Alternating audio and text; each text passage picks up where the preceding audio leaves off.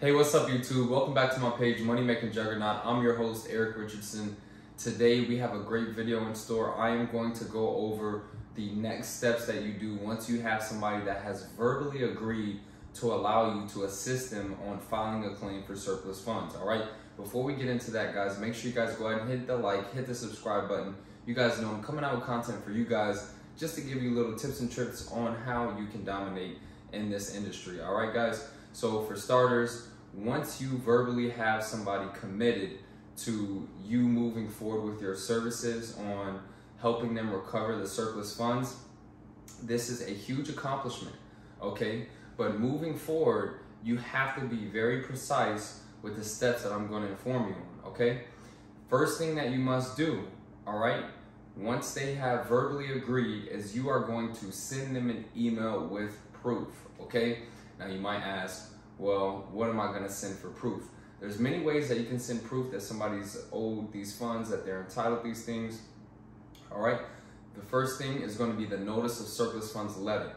Now, keep in mind, not every county is going to have this letter. Okay. Typically, it's a um, a letter that's going to have the county's name at the top. It's going to give you the state statute regarding surplus funds in that state. It's going to say that they're entitled the certain dollar amount it might give the parcel number on the property, maybe a case number that is assigned to it, maybe a certificate number, and also an address. Now this is going to be sent out to all individuals that they believe are entitled to surplus. This is going to be owners, this is going to be potential heirs, this is going to be lien holders, if any, but they should be receiving this letter. Now this letter, of course, is sent out to addresses that are getting return mail. So this is a great item that you can send as proof, all right? Another thing that you can send as proof is a surplus funds list, okay, an excess proceeds list directly from the county. What you want to do is highlight their name on that list and send it over to them, okay? That's great proof. Another option is going to be the auction calendar showing that the property actually sold for a higher amount.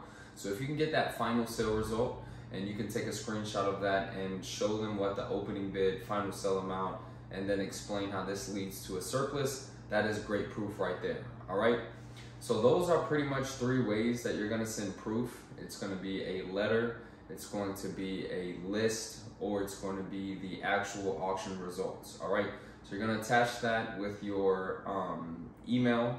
You're gonna send them the intro email with the agreement. You're gonna send that over. Now we need to get them signed up, all right? We had them verbally saying, yeah, let's go ahead and move forward. They've given you the email. Now you send over proof. You send over the agreement form. They're ready to sign. And then now, once you have everything signed, once you have the paperwork, I definitely want you guys to confirm that these funds are still available at the county. Now you can do all of this work beforehand, but most likely if their name is listed on the surplus list, that means that the county is still holding these funds. Now, of course, you could see an outdated list um, you can also see a list that shows a claim back, you know, multiple years ago. So it could be a possibility that these funds are no longer held at the county. They could have been escheated to the state. Now, every state is different with their protocols. Some states uh, actually take over the surplus, and then other states it's just going to be held as unclaimed state funds. Okay, so you definitely want to call, verify. Now, once you have everything verified, now you're going to move forward with submitting the claim. Okay. Once you have verified with the county that those funds are still held there, now you must make sure that you understand how the county is going to accept claims, okay?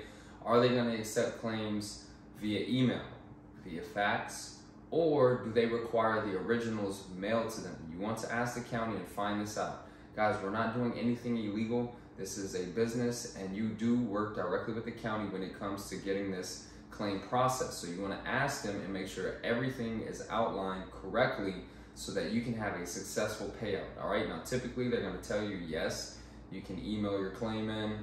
So now you need to go through the protocols and see what is required. You guys require one form of identification. Do you guys require two? Do you guys require the deed document?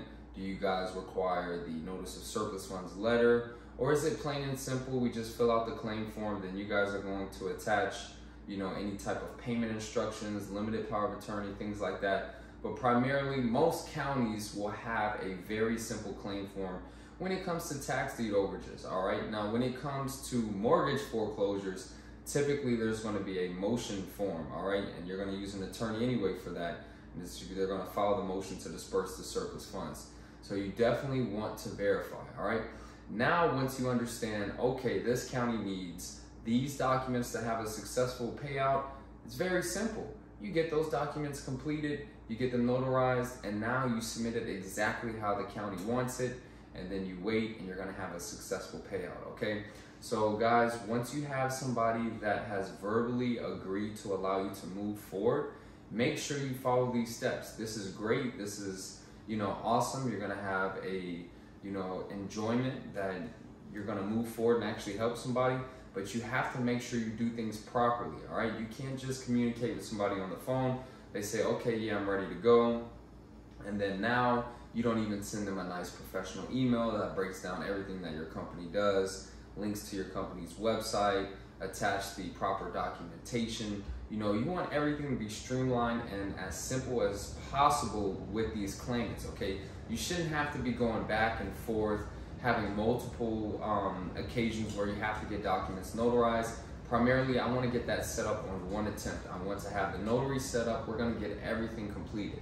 Now, your agreement form does not have to be notarized, so that typically can be e-signed. But once you have somebody that's locked in, ready to go, the county's claim form, majority of the time is going to need um, a notarization, sometimes two witness signatures as well. We're to have that form you're gonna have your limited power of attorney. You're gonna have your payment instructions.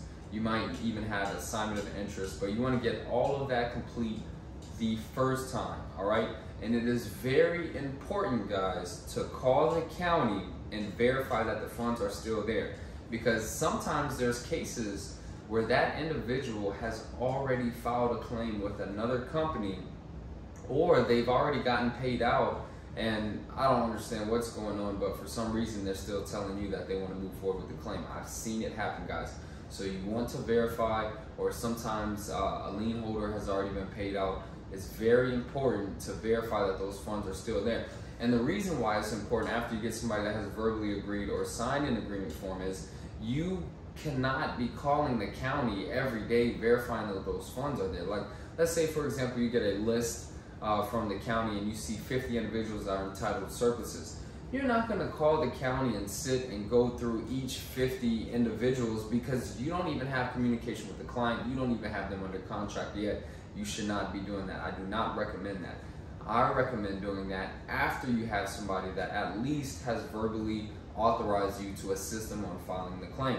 When you communicate with the county, make sure you're professional. Make sure you communicate and say that you have a client under contract they have agreed to allow you to assist them on filing the claim. We just want to verify that the funds are still there. Okay, great. And I just want to verify that you guys can accept this claim via email, fax, what's the protocol, okay? And if they don't have the um, claim filing instructions online, make sure that you contact the county and figure that out, guys, all right?